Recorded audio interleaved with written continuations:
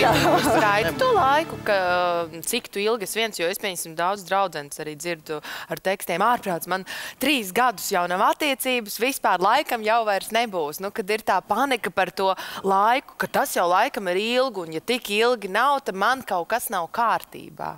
Bet kāpēc? Varbūt arī tā. es nezinu, varam arī tā gadīties. Bet klausies, es tevi, tevi klausos. Mārcis, man ir tāda sajūta, īstenībā, ja tavai dzīvē ir pašam savs kodols, tad tu tik ļoti neiesprings par to, vai tev ir attiecības vai nav. Nu, varētu tā teikt. Nu, nu, nu, es nezinu, es varu dzīvot pašpietiekamu tādu dzīvi sevi. Nu, Tā laime nav tajā sievietē, ja? Nu, es domāju, ka viņa arī nebūs pat tad, pat tad ja tu, uh, tu tā uzskatīsi, ka tā laime ir kādā citā cilvēkā. Nu, nē, nu, viņa taču vispirms jau viņa ir tevī. Nu, tad, kad tu kā pats zini, kas tu esi un kur tu ej, tad nu, man tā šķiet, nu, kā tu vari.